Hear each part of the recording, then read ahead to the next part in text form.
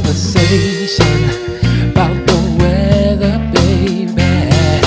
Any old thing that keep from catching my eye.